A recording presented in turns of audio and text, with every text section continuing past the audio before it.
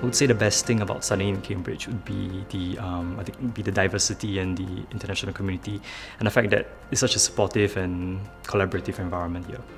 I chose Cambridge for my postgraduate study. It was I wanted to um, experience a life out of Singapore, and also um, because I'm in Cancer Research UK and CRUK has really good facilities. Um, we have core facilities with experts in um, everything that they do. So with whatever experiments I want to run, I always have someone who I know who is one of the best in their fields. So I think I've um, known of Cambridge from like just by word of ear that it's an impressive university, it's one of the best in the world.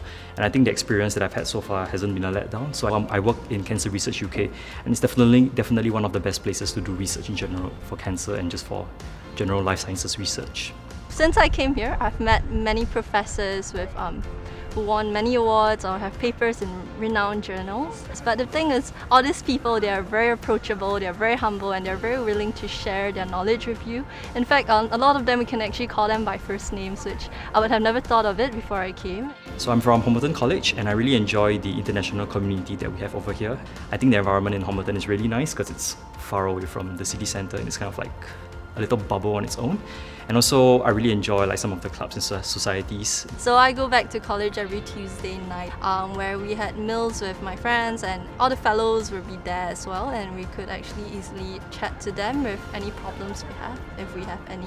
And so I think in my department, there's plenty of networking opportunities because we're just a family of researchers and there are always events, there are always networking events, tea sessions and lunchtime seminars going on where you can kind of hear about the research that people are doing and then have conversations with them.